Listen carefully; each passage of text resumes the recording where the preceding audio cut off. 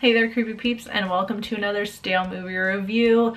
So sorry that this didn't get uploaded on Monday. I use the same excuse over and over again. School and work, school and work, school and work. Soon I will be done with school and soon I will be done with Panera so don't you worry. Um, I won't be able to use that as an excuse anymore. Um, so today we're going to be talking about Late Night Double Feature, which is one of the films I got in a horror pack. Um, again, what, couldn't tell you which one, um, um, but I definitely got it in a horror pack, um, and it's an anthology, kind of, a little bit. Um, so basically the premise is um, there is a like a local cable television show that like horror show that shows horror movies late at night, late night double feature. Um, it's called Dr. Nasty's Cavalcade of Horror. And so one of the stories centers around um, one of the hosts of the show, Nurse Nasty, um, who is frustrated with her job uh, her womanizing director and the host, Dr. Nasty. So that's kind of the first story. And then kind of, you know, dropped in in between bits of Samantha's story, we have two kind of short films, um, which are the features that are being shown on the show in the movie. Um, right, so the shorts within the show that they're showing like as the features on the show are kind of like, you know, not well shot kind of, but I'm thinking that it's on purpose.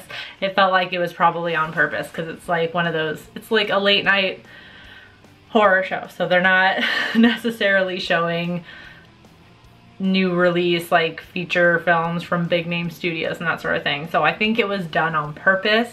So to that extent, I, I was fine with it. I liked it because it fit.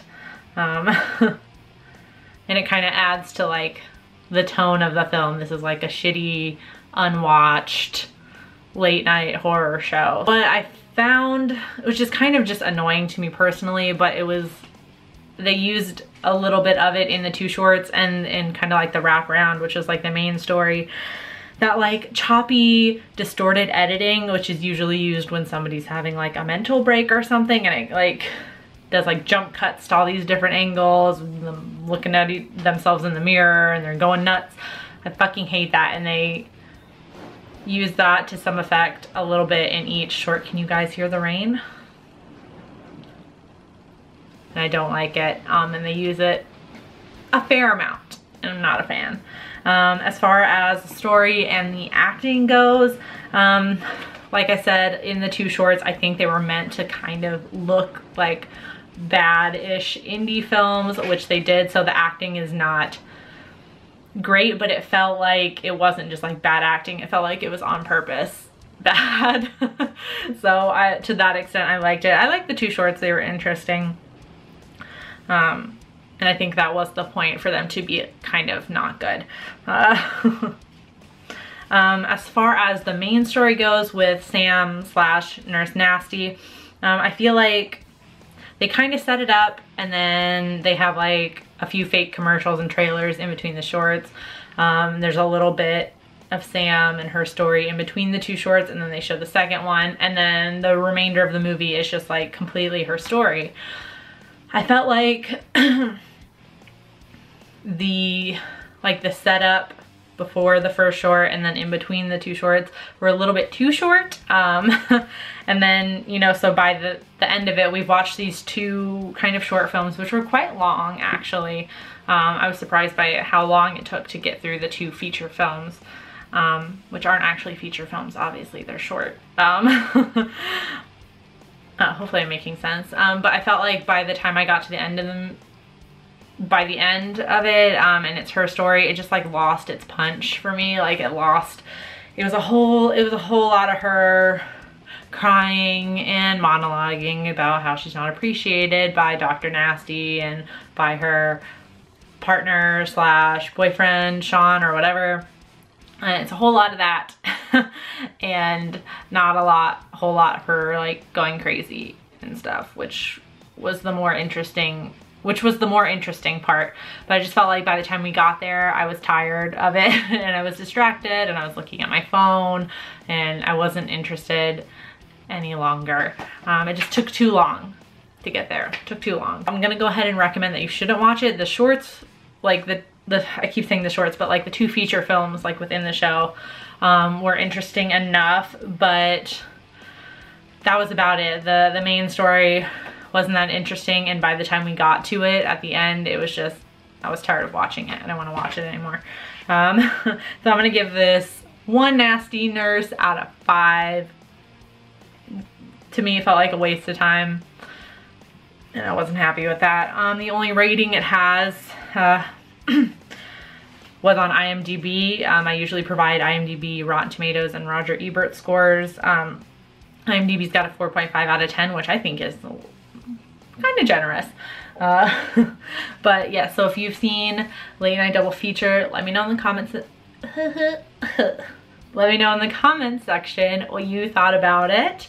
Um, and as always, feel free to leave me suggestions for other movie reviews slash just general video type suggestions, like for Weird Wednesday videos or something. I don't know. I'm just kind of, I don't know what I'm saying anymore. Um, right, comment.